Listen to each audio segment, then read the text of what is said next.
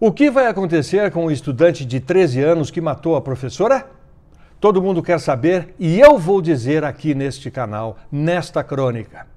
Mas antes de responder a essa pergunta que o Brasil está fazendo no dia de hoje, eu te peço para dar like no vídeo e se inscrever no canal no Lado B Notícia com Brito Júnior, para que o canal possa crescer, possa amadurecer. Porque aqui, afinal de contas, você sabe, né, eu procuro traduzir o noticiário de uma forma leve, quando a notícia é leve, honesta acima de tudo e bem-humorada quando possível. Mas vamos lá. A professora de 71 anos que foi vítima desse ataque sempre dizia, eu ouvi isso nas reportagens dito por filhas, por netos. Ela dizia: "Eu continuo dando aulas na rede pública porque acredito que posso mudar a cabeça dos jovens através da educação. Que frase linda e comovente.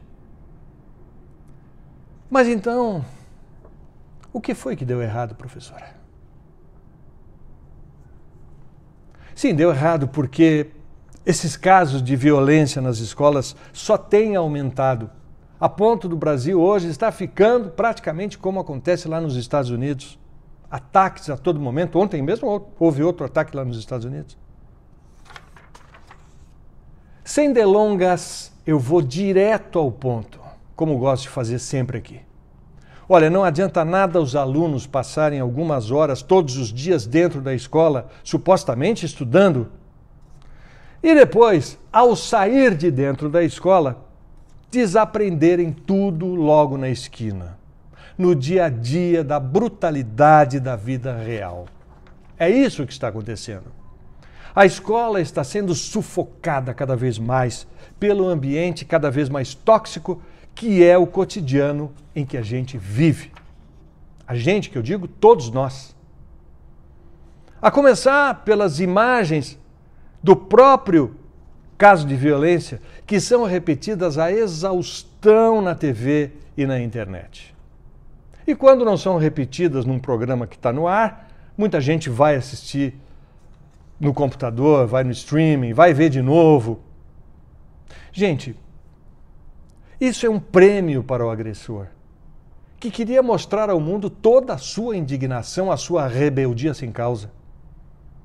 Ele ficou famoso da pior forma possível, agredindo, ferindo colegas e matando a professora.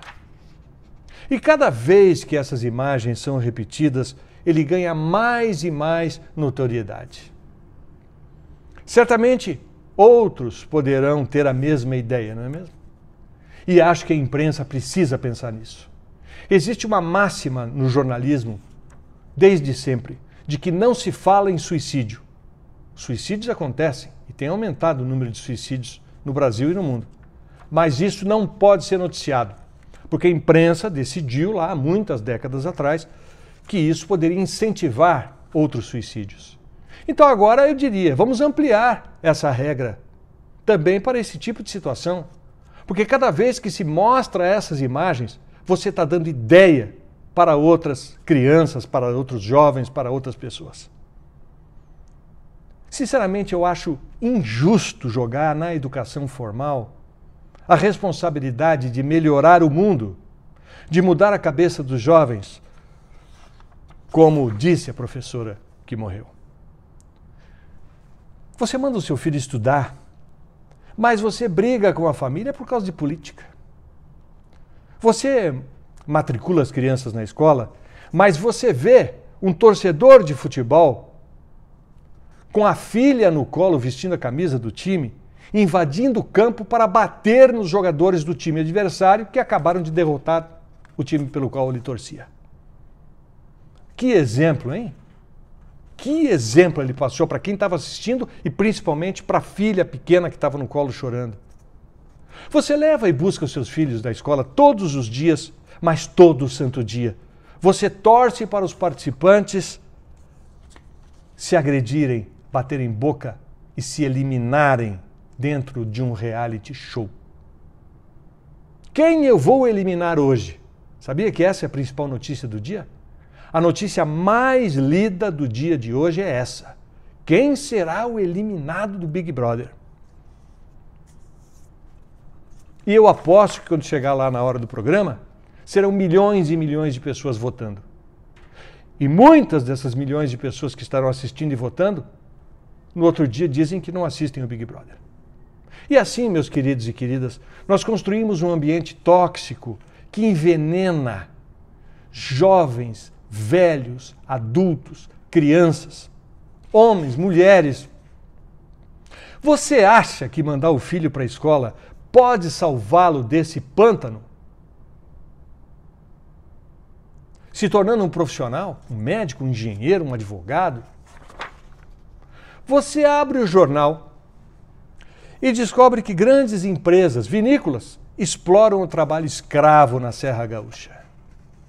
Ganham milhões vendendo vinho, que é um produto inclusive caro, e fecham os olhos para esse tipo de coisa. Não só as vinícolas, é bom que se diga, mas até prestadores de serviço do Lollapalooza, festival de música que teve agora no fim de semana em São Paulo, onde seu filho foi se divertir depois de uma semana árdua de muito estudo na escola, não é mesmo? Você abre a internet e descobre que uma dentista do bairro do Itaim, em São Paulo, praticava assédio moral e abuso sexual contra seus próprios funcionários. Mas tudo bem, porque o meu filho, se Deus quiser, ele vai se formar, ele vai bem na faculdade, vai ser um grande profissional no futuro, eu tenho certeza. Mas aí você assiste no noticiário o caso daquela estudante de medicina da USP que desviou um milhão de reais dos seus colegas, dinheiro que era para a festa da formatura. O que vai ser feito dessa jovem aí? Não sei, ninguém mais falou, né? Uma coisa vai superando a outra. A gente até se perde no noticiário, não é mesmo? Você vê gente enchendo o rabo de grana com pirâmides financeiras e todos os tipos de golpe através da internet. Mas todo domingo no Fantástico tem pelo menos uma matéria de alguém que foi preso com carrão, com mansão, com casa na praia, com lancha, com iate, que viajava pelo mundo inteiro, que acendia dólar, que acendia o charuto eh, com, com, com dólar pegando fogo, que, enfim, gente que cresceu na vida, explorando a criminalidade. Agora, também tem um detalhe, hein? essas pessoas que fazem golpe, pirâmide financeira, eu tenho certeza que elas estudaram bastante, né? Sim, porque para você criar um golpe desse aí, precisa ter se preparado bem. Alguma coisa eles devem ter aprendido na escola. Enfim, ter os filhos na escola é ótimo, excelente, fundamental e básico. Aquele garoto, aquela garota que hoje não for para a escola, não terá nenhuma chance. É preciso, é necessário, é obrigatório dar um jeito de estudar. Mas isso só não é suficiente. Esse é o ponto. Porque nesse mundo, nesse ambiente tóxico que eu estou falando aqui, é praticamente impossível aplicar boa parte dos bons valores ensinados na sala de aula. Os professores ensinam uma coisa, mas a realidade deseduca, desensina, confunde a cabeça dos alunos. Esse garoto que matou a professora usou uma tática de videogame, né? Onde os jogadores morrem, mas logo em seguida voltam para o jogo, ressuscitam e vamos para outra. Só que na vida real, isso ainda não é possível. Quem sabe no futuro. Mas no momento não dá para ressuscitar ainda. Ah, e as redes sociais?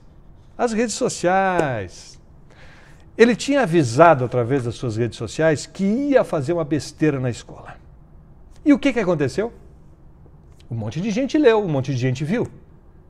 Mas ao invés dessas pessoas denunciarem, avisarem os pais, falarem lá na escola, chamar a polícia, coisa assim, para tomar uma providência, o que, que elas fizeram? Elas fizeram de conta que não estava acontecendo nada e ainda incentivaram o garoto a fazer o que fez. Porque rede social é só ódio, é puro ódio. É só para isso que servem as redes sociais para criar monstros antissociais. precisa discutir esse, esse tema também. Como é que vai regular? Como é que isso vai ser controlado? Que até agora nada. Os pais, isso me chamou atenção também, chegaram a pedir policiamento naquela escola por causa da violência. Mas que escola é essa? Onde os alunos são violentos, os professores têm medo deles e os pais pedem reforço policial, que aliás não foram atendidos, não para combater criminosos que porventura estejam lá ameaçando invadir, roubar, alguma coisa assim, e sim para vigiar o comportamento dos próprios alunos. Que escola é essa? Eu gostaria de saber de você, com muita sinceridade, com muita responsabilidade, se você tem alguma sugestão para a gente desintoxicar esse mundo atual em que a gente vive.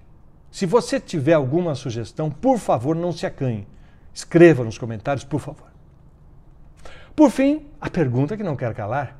O que é que vai acontecer com esse rapaz de 13 anos que de uma hora para outra se transformou num homicida?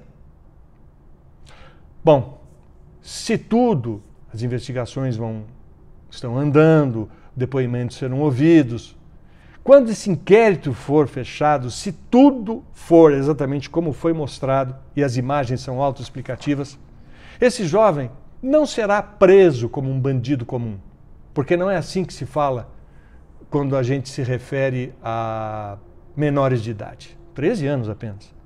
Ele será internado numa instituição de menores infratores. Antigamente chamava FEBEM, agora é Fundação Casa, mas deve haver outras também. E lá ele ficará por no máximo três anos.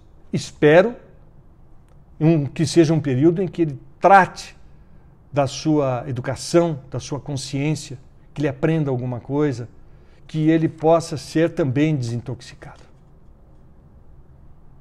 Será tratado aos rigores da lei, que no fundo, no fundo, não tem rigor nenhum neste país.